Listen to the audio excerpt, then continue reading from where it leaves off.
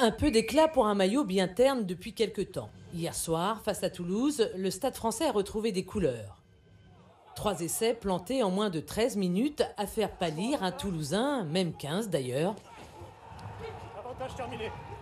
Certes, Toulouse, privé de ses internationaux, avait sorti son équipe de jeunes premiers. Combat disproportionné sur le papier comme sur le terrain. On avait dit avant le match que ça allait être super dur. Ceux, qui pensaient que ça allait être facile, ben, ils se trompaient.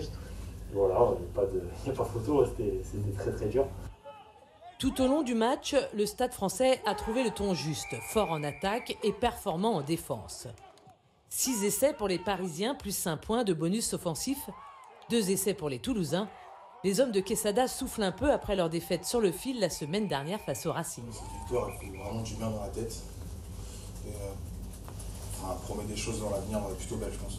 Dès la première à la dernière minute, on a, je pense qu'on a, senti une équipe qui, a maîtrisé son rugby, et qui ne s'est pas sorti du match. Le score 48-14 sonne comme une bonne claque pour Toulouse avant son match face à Castres samedi.